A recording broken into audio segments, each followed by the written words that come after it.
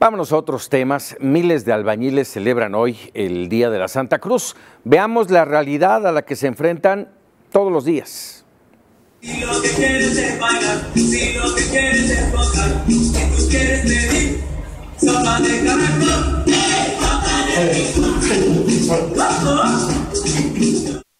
3 de mayo, los albañiles adornan con cruces las construcciones donde trabajan y se encomiendan a la Santa Cruz para no sufrir ningún accidente. El origen de la celebración no se sabe a ciencia cierta, pero algunos historiadores afirman que surgió luego de que los trabajadores agrícolas migraron a la ciudad y se emplearon como albañiles. Tradicionalmente celebraban el día pidiendo abundancia en sus cosechas, pero al modificar su entorno también cambió la festividad. Aunque este día las construcciones se llenan de música y colores, la realidad de estos trabajadores no siempre es tan festiva. Según el IMSS, cada 75 segundos hay un accidente laboral y cada 8 horas muere un trabajador por esta causa. Tan solo durante 2015 se registraron 37.000 accidentes, donde estuvieron involucrados trabajadores de la construcción y 220 de ellos resultaron muertos. El 70% de los albañiles no tiene seguro social y además miles de ellos están subcontratados de manera temporal, por lo que la seguridad económica para ellos es un tema delicado.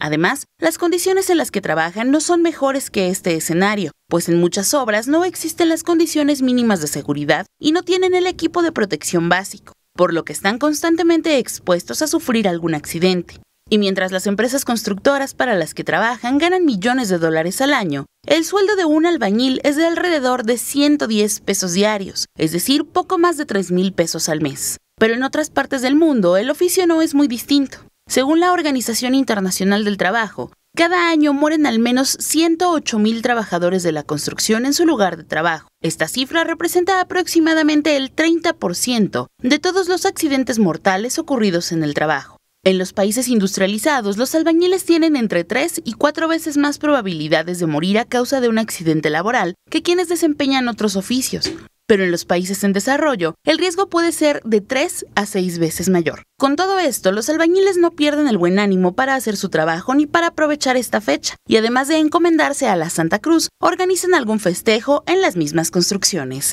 El baile del albañil, chicoteando, chicoteando, la mezcla que va sobrando con la regla la voy sacando, la mezcla que va quedando al baile la voy tirando.